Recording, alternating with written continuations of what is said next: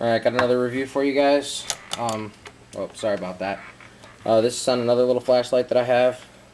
You can see there, this one's made by Garrity. There it says, uh, start over here. It says China Garrity Industries Incorporated. You can see that. And then it says Madison, Connecticut, USA. Um, this is a great little flashlight. Um, you can get these at Walmart. They're, um, I paid $6 for this one. According to their website, um, they're $8. Um, but it's a great little flashlight. 9 lumens, as you can see.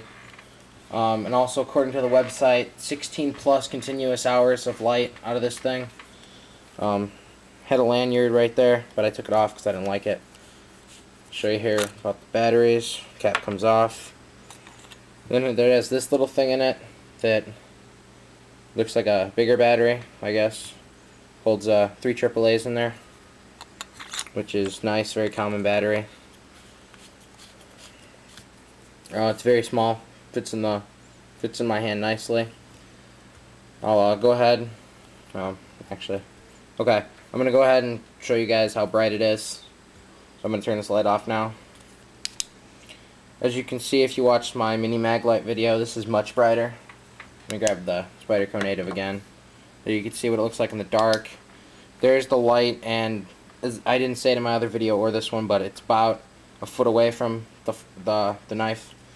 If I get it closer, I mean, probably even read that with the light. There you go. It says spider Spyderco Native right there. Um, but uh, great. Uh, it's great flashlight for what I paid, six dollars. Um, I do prefer it over my mini Maglite. Um, with the LED upgrade, it is a lot brighter because it has the 9 lumens compared to the mini mag, which I believe had 3. I mean, even with the light on, you can still see it. It's still really bright. Uh, there you go.